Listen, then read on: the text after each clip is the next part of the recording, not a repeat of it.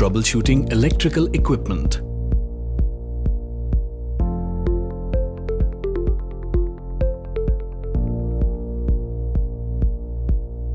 The various electrical systems within your tractor facilitate the user as well as work in tandem with some of the mechanical parts of the vehicle.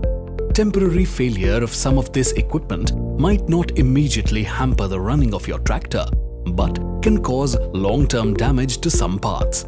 So it is important to ensure that all the electrical parts like sensors and indicators are kept in proper working condition. Let us take a look at troubleshooting of this electrical equipment.